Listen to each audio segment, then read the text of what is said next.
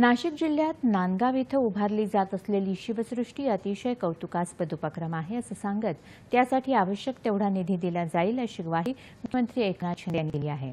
या शिवसृष्टीच्या पहिल्या टप्प्याचं लोकार्पण आज त्यांच्या हस्ते झालं. त्यावेळी ते बोलत होते. नांदगाव नगरपालिकेच्या इमारतीसाठी दहा कोटी रुपयांचा निधी दिला जाईल असंही त्यांनी सांगितलं. राज्य शासनानं सर्वसामान्यांसाठी आणलेल्या विविध योजनांची माहिती त्यांनी दिली.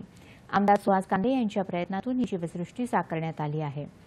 या शिवसृष्टीत छत्रपती शिवाजी महाराजांचा भव्य पुतळा उभारण्यात आला आहे. या कार्यक्रमाला पालकमंत्री दादाजी भुसे आणि खासदार श्रीकांत शिंदे उपस्थित होते.